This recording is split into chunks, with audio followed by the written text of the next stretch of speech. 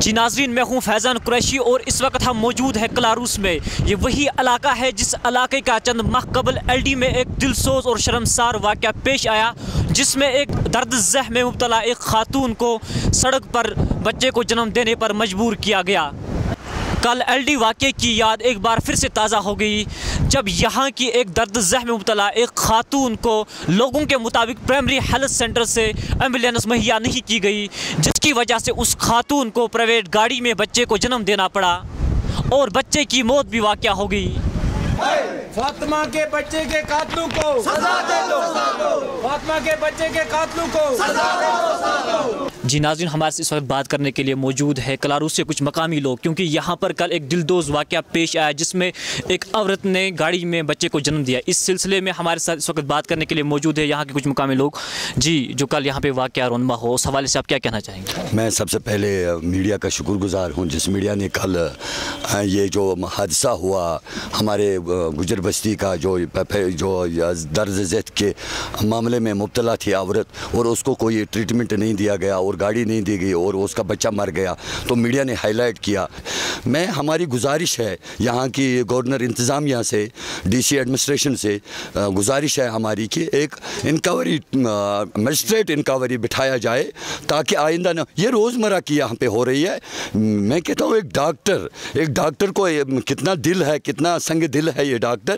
انہوں نے اس عورت کو کوئی ٹریٹمنٹ، کوئی فرسٹ ایڈ نہیں دیا اور ویسا ہی کا ویسا اس کو بولا، جاؤ آپ کو پارا کیا ہسپتال میں۔ اور راستے میں اس کی ڈیلیوری ہو گئی اور بچہ مر گیا۔ یہ ایک قاتلانہ سازش ہے میڈیکل سے، لہٰذا ہماری گزارش ہے۔ ہم اسی لیے یہ پروٹیسٹ کرتے ہیں کہ ان کے لیے ایک انکوائری ٹیم بٹھائے اور تاکہ ان کو سزا ملے، تاکہ آئندہ اس غریب عوام کے ساتھ ایسا ظلم نہ ہو جائے۔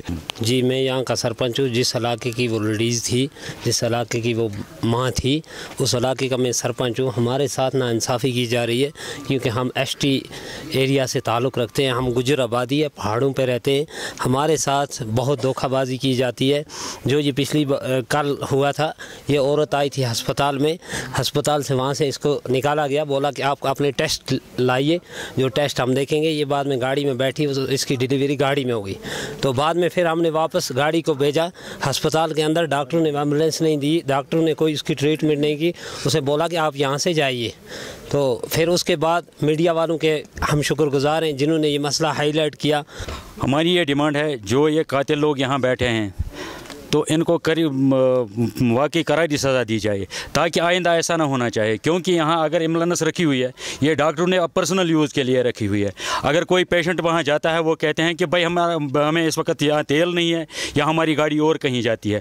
لہٰذا اگر ایمبولینس کا یہ مطلب ہے کہ ان کو پرائیویٹ استعمال کرنی ہے، تو ہمیں کس لیے یہ مصیبت بنا کے رکھی ہے؟ تو ایمبولینس کا نام دیا گیا اس کو۔ جی ناظرین، ہمارے ساتھ بات کر رہے تھے۔ یہاں کے کچھ مقامی لوگ جن کا یہی کہنا تھا کہ غفلت شاری برتنے والے ملازمین کو کڑی سے کڑی سزا دی جائے تاکہ آنے والے کل میں ایسے واقعات رونما نہ ہو جائے اور کوئی اد کھلا پھول کھلنے سے پہلے مرجا نہ جائے۔ کیمرہ مین شاہد پیر کے ساتھ میں ہوں فیضان قریشی، کشمیر ٹاؤن کے لیے۔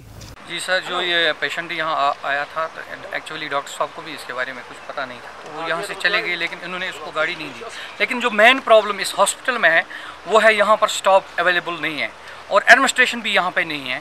ایکس رے ٹیکنیشین ہے ایکس رے وہاں پہ یہ بندہ ہی ہے نہیں۔ ہے یہاں پر جو دوسری چیز ہے یہاں پر یو ایس جی۔ ہے اس کے لیے ڈاکٹر ہے ہی نہیں۔ یہاں پر اویلیبل اور باقی جو یہاں پہ پرابلم ہے مین پرابلم آپ اس ہاسپٹل میں اندر جا کر دیکھیے اس میں کوئی چیز ہی نہیں ہے۔ ایسے جہاں جس میں پیشنٹ یا لیب لیب ٹیکنیشین یا باقی چیز جو ہے یہاں پر اگر کوئی ڈلیوری آتی ہے تو اس کے لیے بھی یہاں پر کوئی خاص انتظام ہے ہی نہیں۔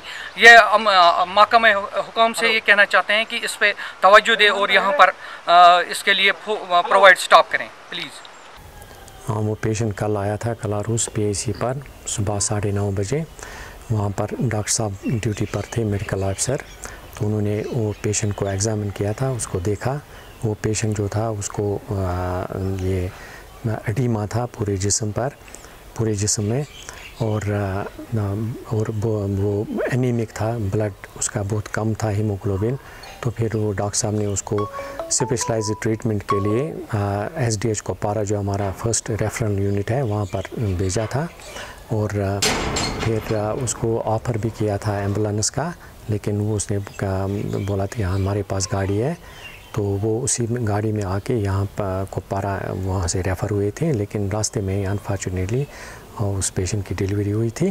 بعد میں وہ پیشنٹ ایڈمٹ تھا یہاں پر کپارا میں۔ تو پیشنٹ وہ اسٹیبل ہے، اس کو ہم نے بلڈ ٹرانسفیوژن ٹریٹمنٹ وغیرہ سب فری میں کیا۔ تو اس وقت وہ پیشنٹ اسٹیبل ہے۔ یہاں پر سی ایم او صاحب نے ایک کمیٹی بھی تشکیل دی ہے، جو یہ انویسٹیگیٹ کرے گی کہ معاملہ کہاں پر غلط ہوا ہے۔